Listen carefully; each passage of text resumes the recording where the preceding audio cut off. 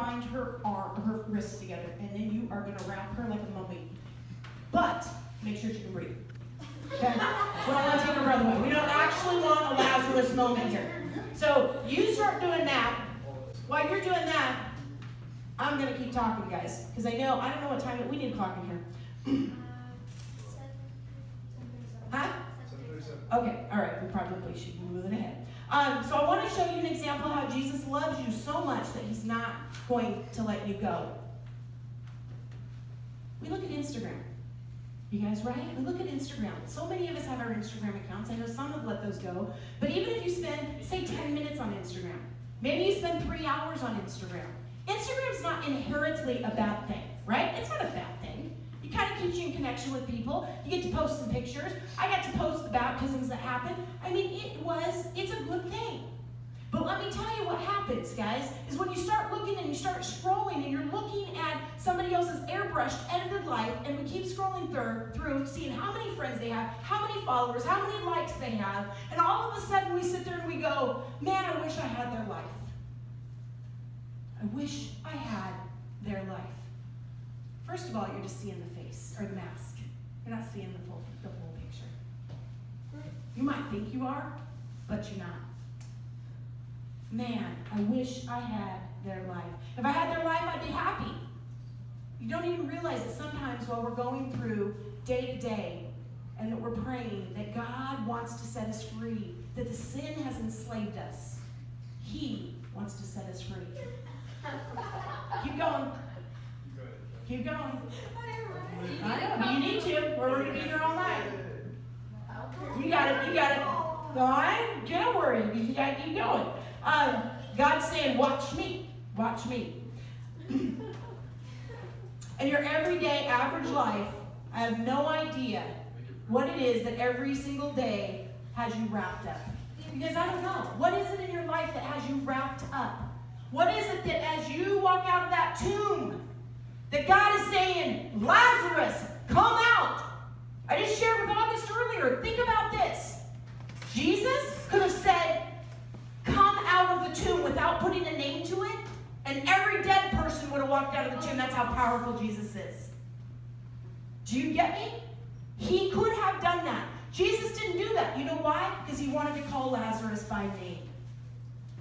Just as he wants to call us by name. And he doesn't want us just to walk out of the tomb with our eyes still covered. He's calling your name.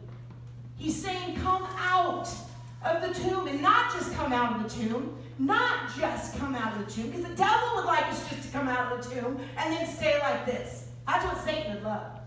He'd love that. Because when our feet are bound and our hands are bound and we're all wrapped up on our face and we have a mask on, we don't live in the full glory that God has called us to live. Have you ever, though, sat down to read your Bible and everything around you distracts you? You know God wants you to read the Bible. You know He wants you to dig in. And yet, you just kind of half-hearted going through it because we're just all wrapped up. We're all bound up.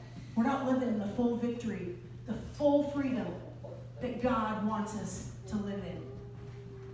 He wants us to live godly relationships, you guys, with each other. He wants us to live in harmonious There's nothing better than when God's people, if you were there Saturday night, I talked about that. There's nothing better than when community, God's community, comes together. We're almost done. And when I have you come up, there's glory in what's going to happen. You know Lazarus had been dead for four days. So bad that his body actually began to decay. The worms had already started coming through his body. I mean, it's what happens. That's exactly what happens when a body decays. If you don't know that, Google it. Ooh, it's kind of gross though. Sometimes we're wrapped up and we're in bondage. You guys, we're in bondage for so long that we forget what it feels like to be free. Anybody here ever forgot what it feels like to be free? I bet right about now, even though she's only been wrapped up for just a few minutes, it's very quickly that we forget what it's like to be free. Yeah? You gotta go home like that. Oh, I have a question. No. He walked like this. He went, he went, shuffle, shuffle, shuffle. he went hot. Maybe hot.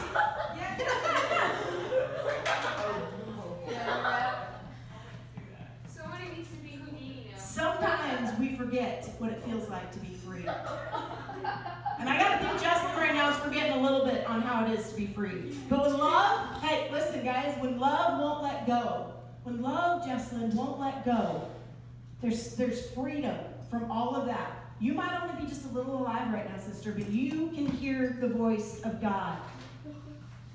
Story, but in the story, Jesus does not leave Lazarus, right? In this story, there were two people that loved Lazarus. There's many people probably, but we look at his sisters, which were part of his family, and Jesus, right? There were a few people that loved. If there could be three, three, we got to stick with girls because we got to stick girl. Sorry, you're nope, can't do that. Uh, three girls to come up, and I want you to start taking this off. And I got to think, can we just envision? Wait one second. I want you guys to just vision. You guys envision right now that moment when Lazarus was dead. Jesus said, Lazarus, come out of the tomb. And he walked out. And Jesus said, Go take his linens off. Take them off. Imagine the miracle that is happening. I don't want us to be goofy right now, girls. I want this to be a moment, and I want us to really try to visualize this. What it must have been like to be Lazarus' family and friends standing there, watching the linens come off. There's got to be a little more excitement than that. You think? Do you guys think? Like, I think with Lazarus. You excited?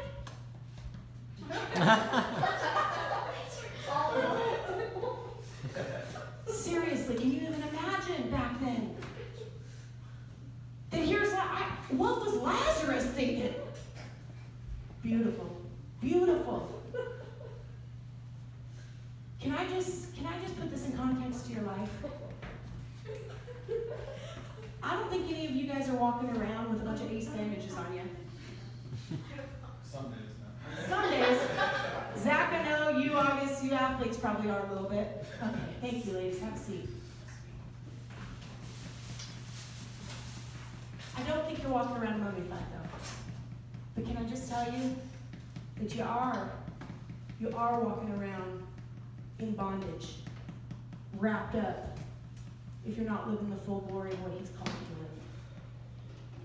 You see, love won't let you go. Love won't leave you alone. God is pursuing you.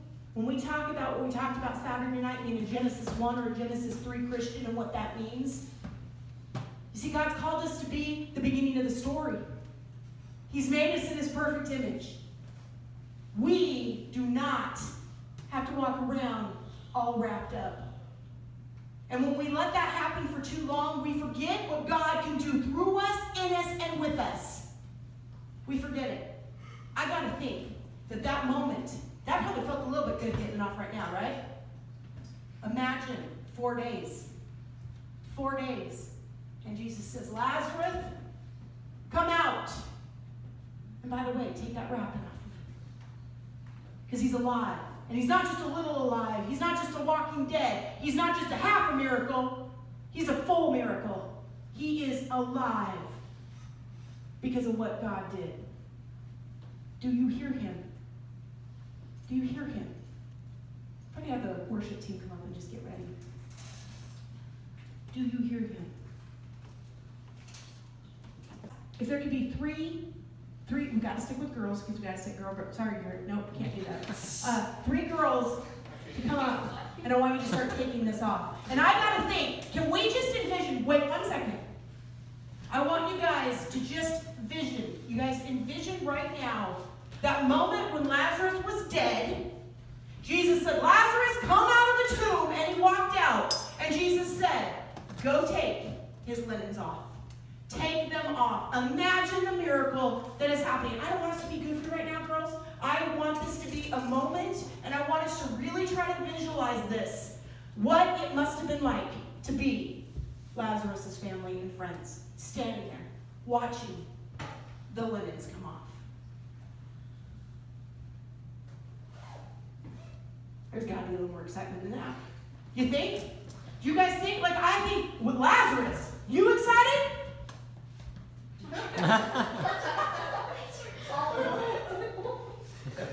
Seriously, can you even imagine back then?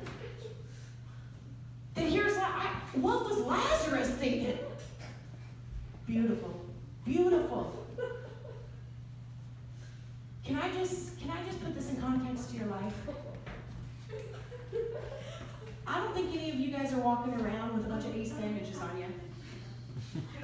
Some days not. Some days. Zach, I know you, August, you athletes probably are a little bit. Okay, thank you, ladies. Have a seat. I don't think you're walking around mummified though. But can I just tell you that you are, you are walking around in bondage, wrapped up, if you're not living the full glory of what He's called you to live. You see, love won't let you go.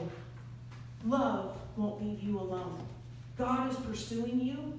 When we talk about what we talked about Saturday night, being a Genesis 1 or a Genesis 3 Christian and what that means, you see, God's called us to be the beginning of the story. He's made us in His perfect image.